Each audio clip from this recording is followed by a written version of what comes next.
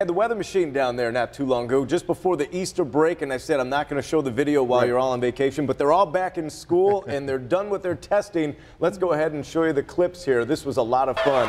We uh, they uh, we went to the high school auditorium. It holds almost a thousand, and we were almost standing room only there with a lot of uh, friends and parents in the back. It was great. We got things going with the weather balloon. We filled this guy up and explained that this is how we get the weather from way up in the atmosphere, and there's no better way than to learn than get the hands on and check out the big eyes on that guy.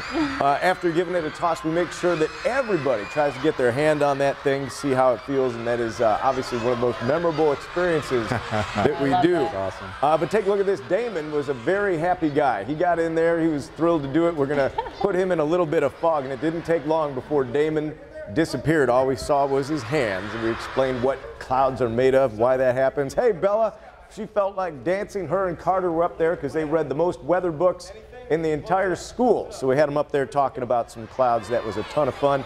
And we said, why limit it to Carter and Bella? Let's put clouds in everybody's hand. We went around that auditorium and talked about condensation, evaporation, and then it was a bad hair day for this young lady. As we turned up the notch, the winds went from 30 to 50, and you could see it didn't wipe the smile off her face. And then Jameson here didn't think we could do a tornado, but we made a believer out of him. And these gentlemen had the most shocking experience of their life as they oh, exchanged a little lightning finger to finger. And of course, we didn't leave without having one more bad hair day as we talked about what static electricity can give you a signal if lightning is going to strike. And you know what? The day we were down there, it was pretty warm, but we made it snow on all those kids down there.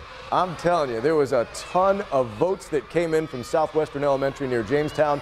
It was our pleasure to bring the weather machine down there. We're going to fire up the contest again next week. Let's go ahead and get it and show you what's going on. Mother Nature